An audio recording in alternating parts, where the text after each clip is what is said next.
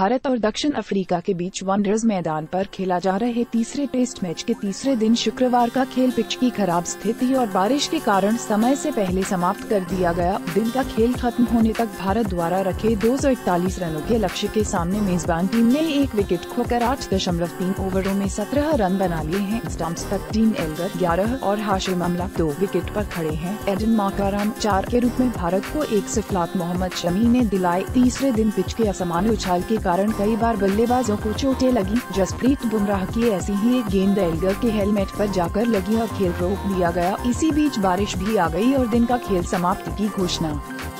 कर दी गई। इससे पहले भारत ने दक्षिण अफ्रीका के सामने 241 रनों का लक्ष्य रखा। भारत ने अपनी दूसरी पारी में दो रन बनाए। इस तरह उसे दूसरी पारी के आधार पर 240 रनों की बढ़त प्राप्त हुई। दूसरी पारी में भारत के लिए अजिंक्य रहाणे ने सबसे अधिक अड़तालीस, कप्तान विराट कोहली ने इकतालीस, भुवनेश्वर कुमार ने तैतीस, मुरली विजय ने पच्चीस और मोहम्मद शमी ने सत्ताईस रन बनाए। दक्षिण अफ्रीका की ओर से कगीसो रुबाडा वे नून फिलिंडा और मोनेर मोकल ने तीन तीन सफलता हासिल की, जबकि लुंगी को एक विकेट मिला। तीन मैचों की सीरीज़ में शून्य माइनस दो से पीछे चल रहे भारत ने अपनी पहली पारी में एक सौ सतासी रन बनाए थे और फिर दक्षिण अफ्रीका की पहली पारी एक सौ चौरानवे रनों पर सीमित कर दी। जाने कैसा रहा पहले और दूसरे दिन का खेल?